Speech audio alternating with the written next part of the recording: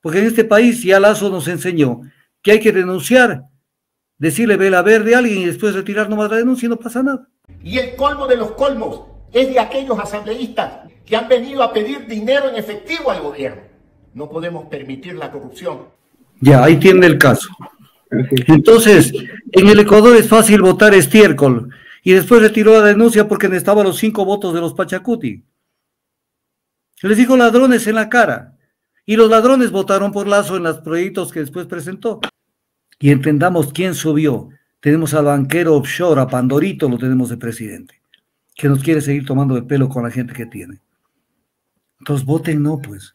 Para que ya es como decirle, si te votamos no ahora, tíranos otra nueva, una nueva consulta sobre lo que quieras. Te vamos a votar no otra vez. Porque se viene la reforma haciendo que los militares se pongan al servicio de los policías, descuidando las fronteras. Que esa es la labor de los militares. Porque por ahí pasa la droga. Esa es la labor de los militares. Entonces, despierten. Abran los ojos.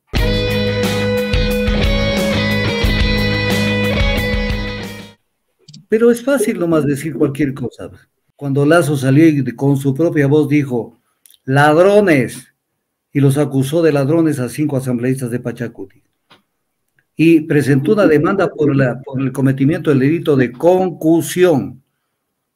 Y después retiró la denuncia. Cuestión que no podía hacerla, porque le voy a explicar por si acaso alguien se me confunda, y incluso algún abogado se me puede confundir. La calumnia, la calumnia que es tipificada en el Código Orgánico Integral Penal, la calumnia es susceptible, es susceptible de que pueda ser retirada, o, sea, alguna imputación. Porque el artículo 182 del Código Orgánico Integral Penal dice, no habrá lugar a responsabilidad penal si el autor de calumnias se retractare voluntariamente antes de, antes de proferir sentencia ejecutoriada.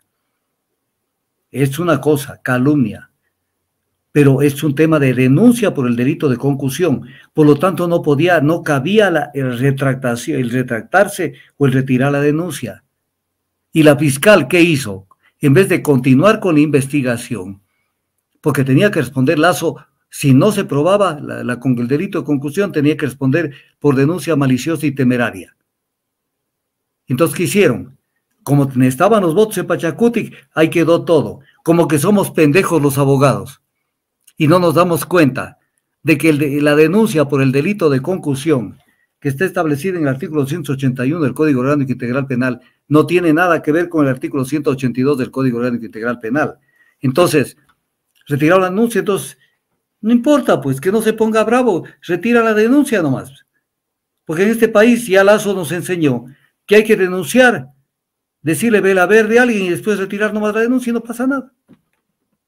Entonces, ¿pero que esto debe ser investigado? Claro que debe ser investigado.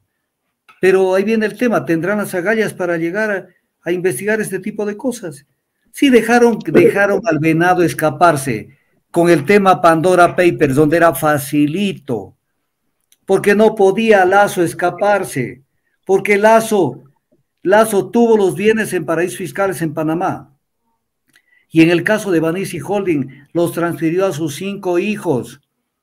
Entonces él podría decir, como lo dijo, yo tengo este certificado, este certificado de Panamá que dice que yo no tengo bienes en paraísos fiscales.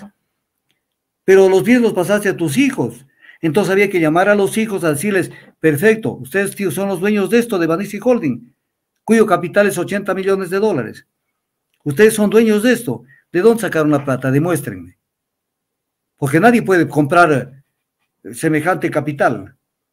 Entonces, ¿de dónde sacaron la plata?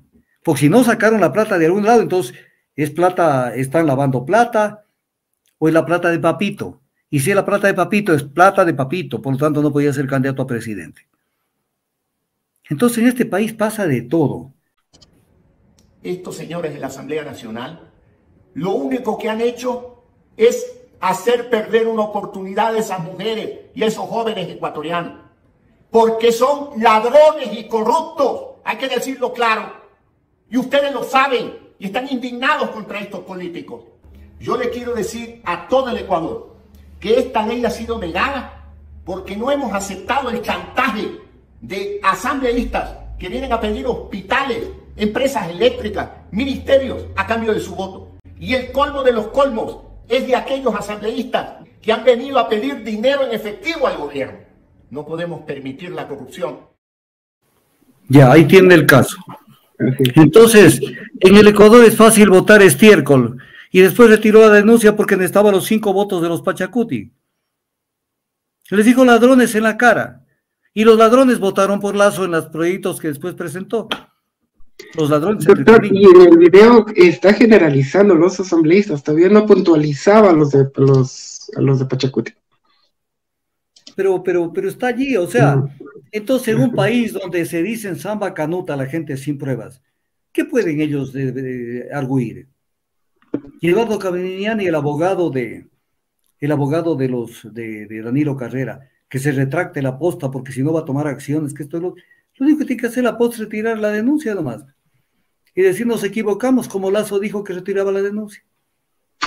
Porque, porque ya se había demorado, a ver, fíjese este argumento, se había demorado mucho tiempo la, la indagación y como se demoró, mejor retira la denuncia. Pero no se había, no se había terminado el, el tiempo que dura el plazo que dura el llevar a cabo la indagación previa del delito de concusión. O sea, ¿quién le toman del pelo, por Dios? O sea, aquí en el Ecuador se puede decir cualquier cosa, como se decía en su tiempo, el sol gira alrededor de la Tierra. Bien puede pararse y decir el sol gira alrededor de la Tierra. O sea, dicen lo que les da la gana. Entonces ahora vendrá un dote este culebrón, que es la contestación del otro culebrón, de Villavicencio sobre lo que hacer creer a la gente que están trabajando para el bien público. Cuando no hay dinero, tener las tasas de interés, cualquiera puede consultar. Yo lo voy con esto mañana yo consulto y le mando a usted una copia. Las tasas de interés bancaria para el microcrédito están el 20 y pico, 26%. ¿Qué, puede, ¿Qué solución puede haber para el microcrédito? ¿Qué solución puede haber?